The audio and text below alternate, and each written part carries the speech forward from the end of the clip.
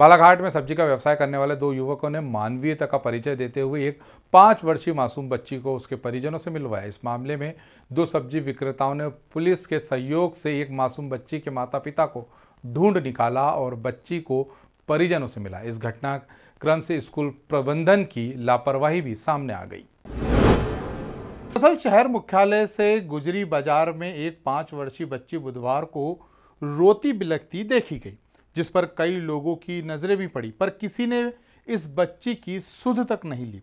इस बीच यहाँ पर सब्ज़ी का व्यवसाय करने वाले दो युवक, जिसमें शेख फिरोज और मोहम्मद ने मानवता का परिचय देते हुए इस बच्ची से उसके बारे में पूछताछ की। बच्ची सिर्फ़ अपने गाँव का नाम रट्टा रट्टा ही रट लगाए हुए थी।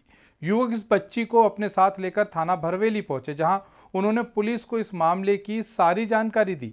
मामला बच्ची से जुड़ा देख भरवेली पुलिस भी फ़ौरन हरकत में आ गई और बच्ची के माता पिता की खोजबीन कर रट्टा गाँव में संपर्क किया और बच्ची को उसके माता पिता से मिलवाया।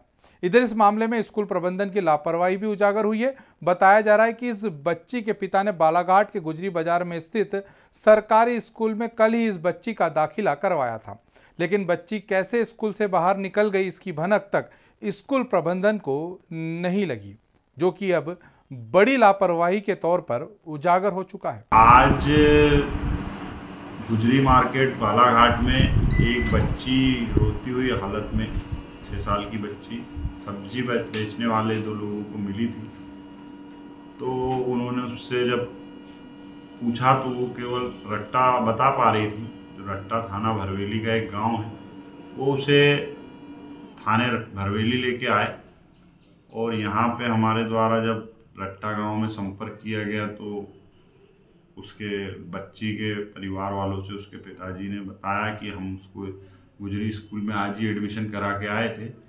और स्कूल में छोड़ा था उसको, लेकिन बच्ची स्कूल से बाहर निकल गई और स्कूल से जब जानकारी लगी तो वो खोज रहे थे।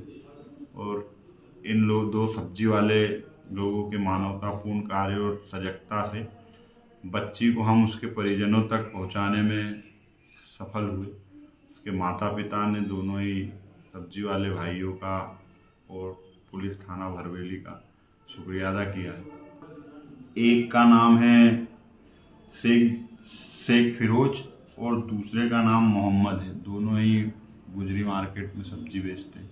ग्रामीण भारत टीवी के लिए बालाघाट से निकेश चंदेले की रिपोर्ट। खबरों में बने रहने के लिए ग्रामीण भारत टीवी को सब्सक्राइब कीजिए और बेल आइकॉन दबाना ना भूलें।